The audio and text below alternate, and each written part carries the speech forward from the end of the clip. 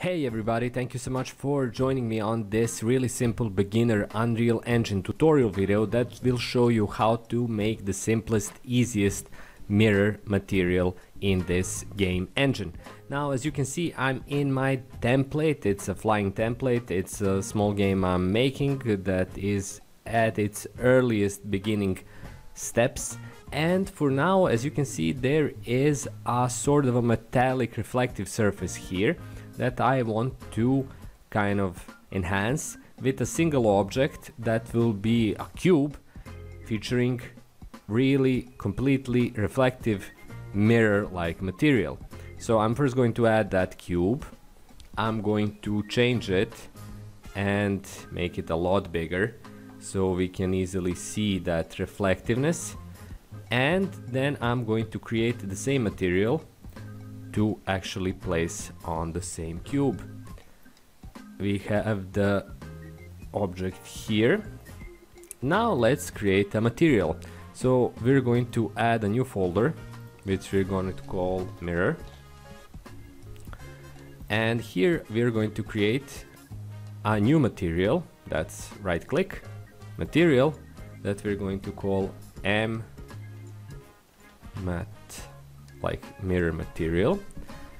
Now I'm going to open it up by double clicking and enter its editor. As you can see here I have my basic setup that I'm going to use to change this into more or less a completely reflective mirror surface. Now I'm going to add the first node which is going to be created by holding down the one button on your keyboard and here it is it's the first node which we're going to connect to the roughness element and we're going to keep it at zero as the kind of first step. The next step is going to be getting set with the metallic element another use of the same principle. As you can see it's already updating here. By holding down the one button on the keyboard and adding another node. We are going to connect it to metallic. So while we're keeping the roughness at zero we have to have zero roughness. Of course it's a mirror like material. We can experiment here and change this value over here to let's say 0.5 and see what that does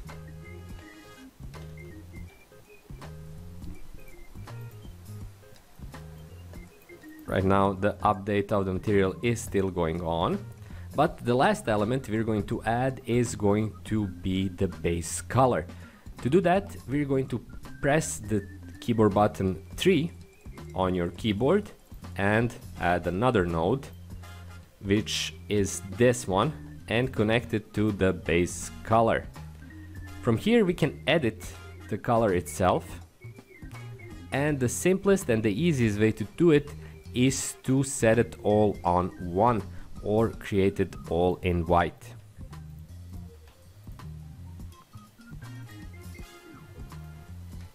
And that's going to be the base color right there.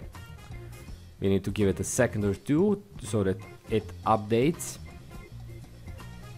And we'll have the preview. And here it is.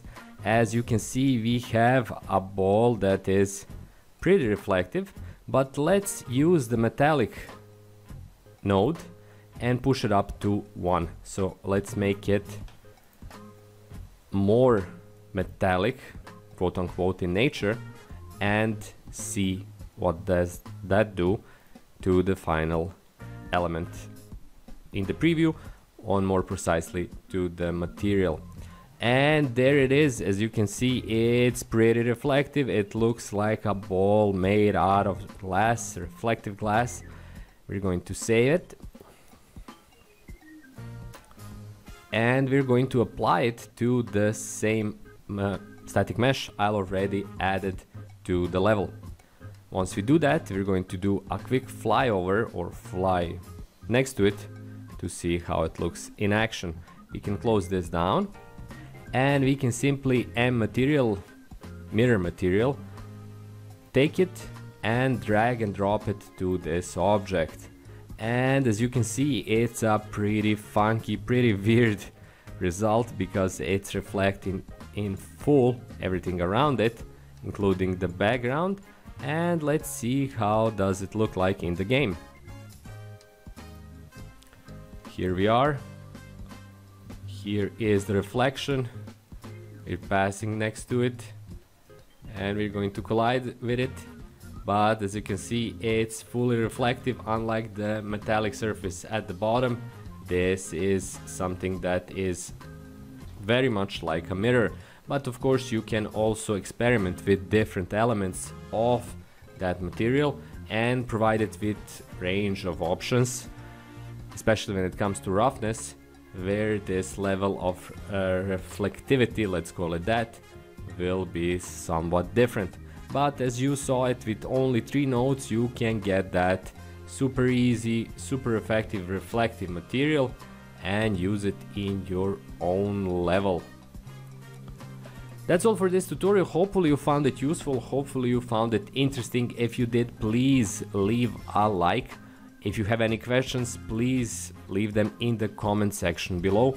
I would love to try and answer them. Of course, I'm clearly not an expert here, but I love learning Unreal and I figure that getting questions is a great way to do it because it kind of forces you to figure stuff out as well. Please also consider subscribing to my channel. Until my next tutorial, thank you so much for checking out this one. Have loads of fun in your Unreal Engine projects and I'll see you pretty soon on my new Unreal tutorial video. Until then, bye bye.